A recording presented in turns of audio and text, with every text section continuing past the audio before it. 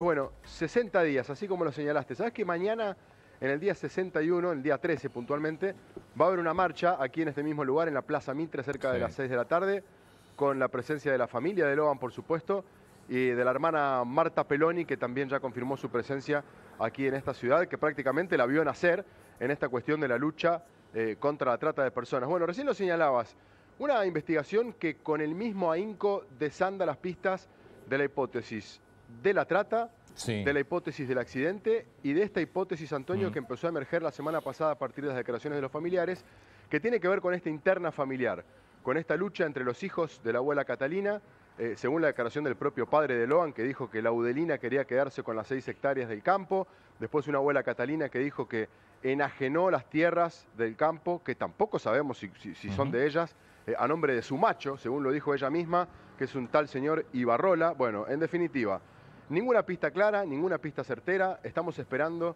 entre hoy y mañana van a estar llegando algunas, algunos laboratorios eh, del Cuerpo Médico Forense de Buenos Aires, así como también extracción de teléfonos celulares. Y mientras tanto, Antonio, siguen pasando las testimoniales. Hoy va a ser una jornada con por lo menos cuatro testimoniales eh, interesantes. Después, si querés, podemos ir repasando punto a punto. ¿De quién? Pero en definitiva, eh, ninguna de ellas aportará nada certero.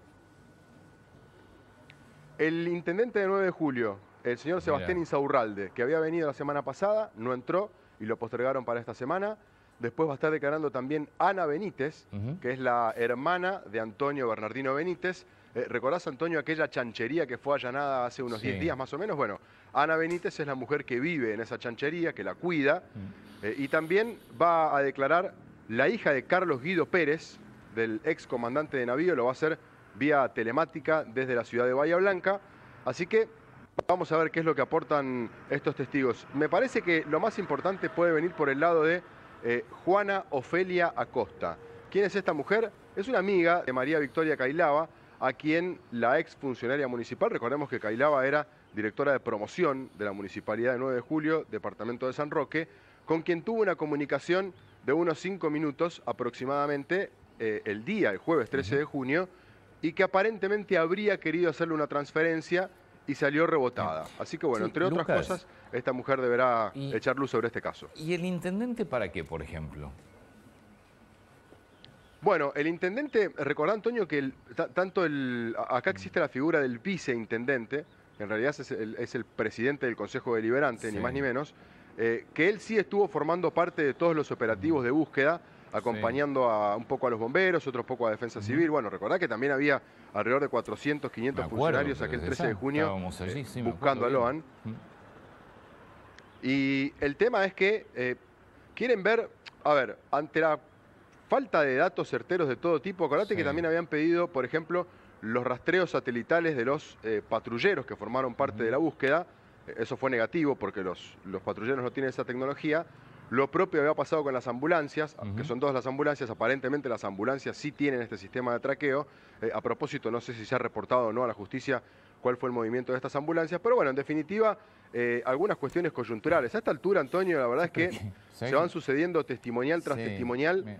Y yo hablo de Pedro y entonces lo van a buscar a Pedro y ven qué tienen para decir. Me da la sensación de que están llamando, o sea, el que pasa cerca. Sí, tal cual. Antonio, en 9 de julio viven 1.600 personas. Yo creo que ya debemos estar cerca del testigo número 100.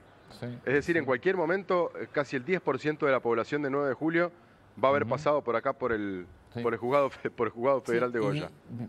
¿qué, hablas con la gente de, Goya? No de 9 de julio, vos estás en Goya. ¿Qué, te, ¿Qué te dicen de esto? Vos sabés que quiero citar, Antonio, un libro mm. que escribió Gustavo Mura, Gustavo ah, Mura, que es el papá de un ex compañero mm. nuestro, Jerónimo Mura, es muy interesante. Se llama Pecados Capitales. Y vos sabés que mm. tiene un capítulo exclusivamente dedicado a la trata de personas de acá, de Goya. De alguna forma le pone palabras, testimonios, mm. a lo que nosotros tantas veces escuchamos de vecinos que van pasando por acá, por la plaza y por los diferentes lugares de Goya y de 9 de julio por donde nos movemos, y te dicen que existe hace mucho tiempo. Incluso te dicen esto, y la abuela Catalina también lo admitió mm. acá en, los juzgados federales. A partir de que empezó la época del kirchnerismo con los planes, eh, un poco se empezó a desactivar, pero previo a eso mm. era prácticamente algo eh, Vox Populi. Eh, incluso hay jueces Sí, provinciales que han sido destituidos por causas y- similares. ¿Y trata dentro del país o para sacarlo fuera del país? Hay de todo. Hay casos donde vendieron a los chicos eh, por 50 mil dólares a Alemania. Nosotros incluso se ¿Pero acercó una, salís? ¿Cómo- cómo una miembro de la Policía Federal Argentina y nos dijo, bueno, ese es uno de los, de, de- de los puntos, ¿no? Eh, la jueza Poserpenso trabajó como subrogante en Paso de los Libres, eh, que es una localidad limítrofe con Uruguayana, Sí, sí, sí. Ujú. el límite con la República Federativa de Brasil, y conoce bien de qué se trata el tema. Eh, por eso es que entre los vecinos hay cierta tranquilidad, relativa tranquilidad, más allá de la ansiedad y de todo, ¿no? Es una mujer que conoce bien el tema fronterizo, pero el tema, Antonio, es que para donde dispares en esta zona litoraleña de la Argentina, eh, tenés acceso a otro país en dos o tres horas No, como eso, mucho. eso es cierto. te que podés pasa ir a Paraguay, Cinco años es un chico, vamos a decir, te lo puede llevar drogado, dormido, sí. Después es un chico que en algún momento puede decir, puede decir algo, no, no, no sé.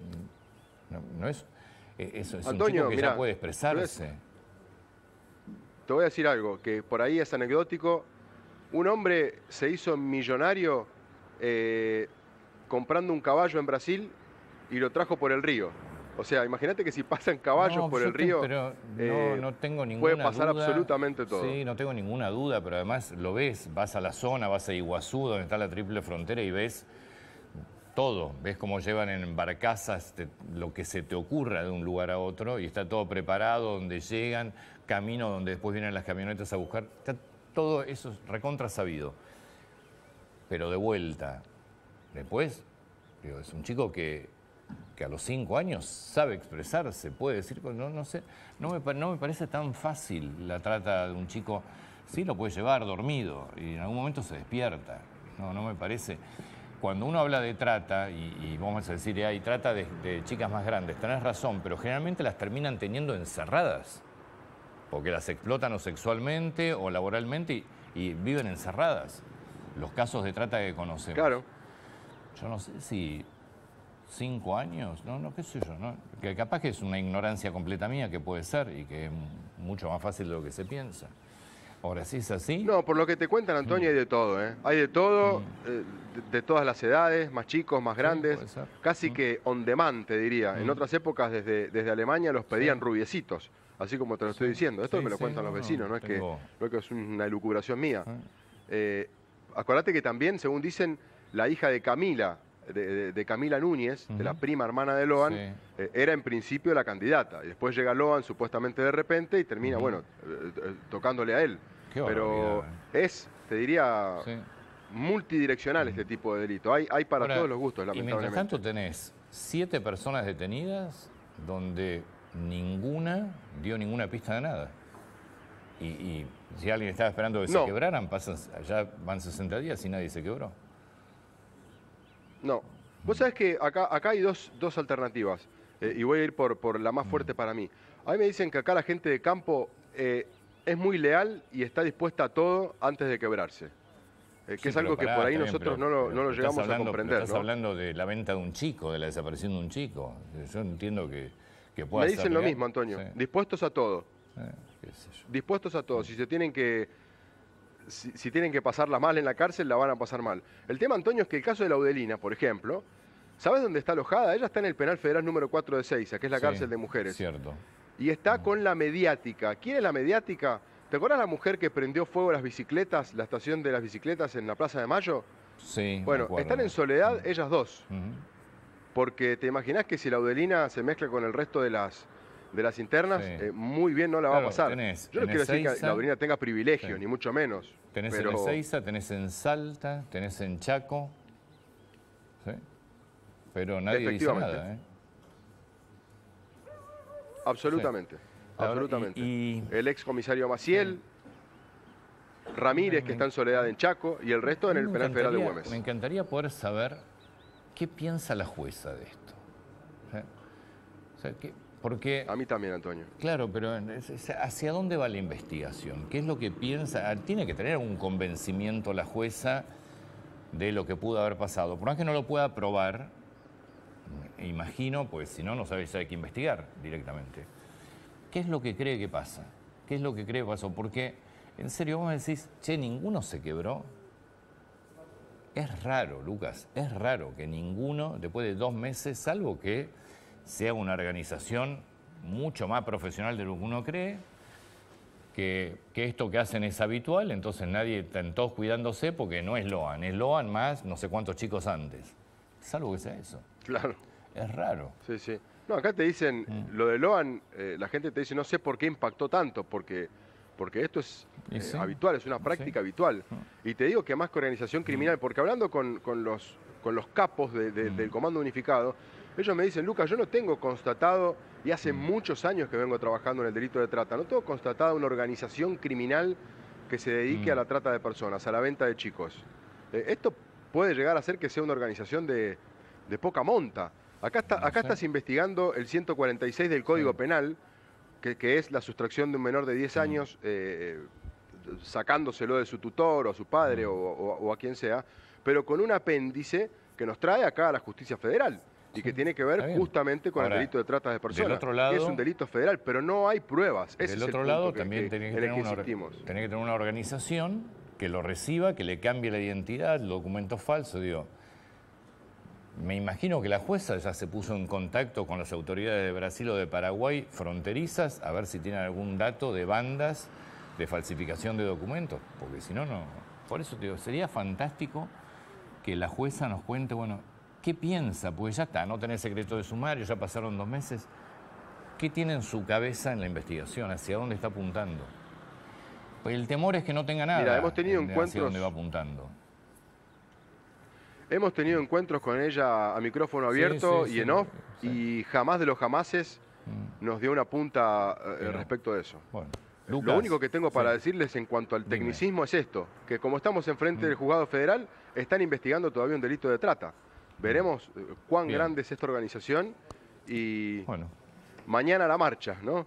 Cuando se cumplan dos meses de la desaparición de este chiquito. Gracias, como siempre, muy atento. Un gran placer, Antonio. La reforma política está dando vueltas alrededor del Congreso en cualquiera de sus variantes.